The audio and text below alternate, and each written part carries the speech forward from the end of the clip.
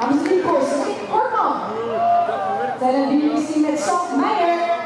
En als Ultra.nl Beamer Jersey, Mika van den Berg.